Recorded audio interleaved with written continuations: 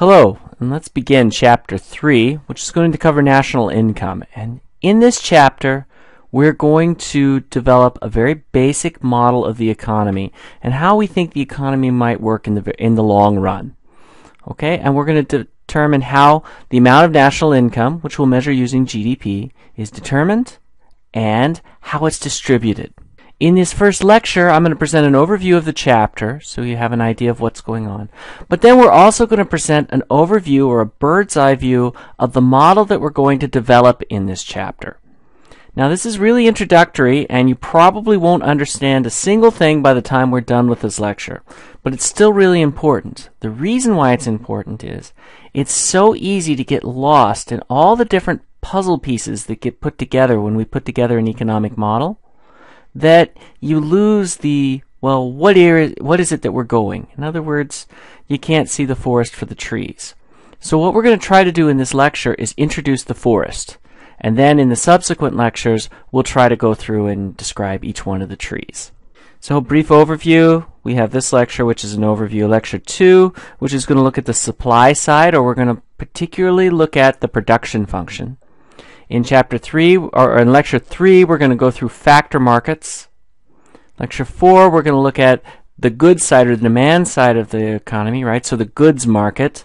And then finally in lecture 5, we'll talk about the loanable funds market and bring everything together. So, brief outline of the model. So we can think of this as aggregate demand, aggregate supply, and then bringing the two together into equilibrium. So we're going to talk about the supply side first, in which case we have factor markets, so supply, and demand, prices of things like um, labor, capital, stuff we use to produce other stuff. That's what a factor of production is. And then determinants of output, so how much can we produce, and that'll be determined in our, our case by our technology and our level of inputs. Uh, and then once we do that, we want to know we've got all this income. Who gets it? Do the entrepreneurs get it? Do the laborers get it? Do the owners of capital get it? We need to determine how that income is distributed. That takes care of the supply side of this model. Then on the demand side, we want to figure out, well, how much consumption do we want? How much investment are we going to want? How much government spending is there going to be? Now you notice this is a pretty simple model. There isn't going to be a foreign sector, so, so, no net exports. So in this model, GDP equals C plus I plus G, and we're leaving off net exports because we're excluding them.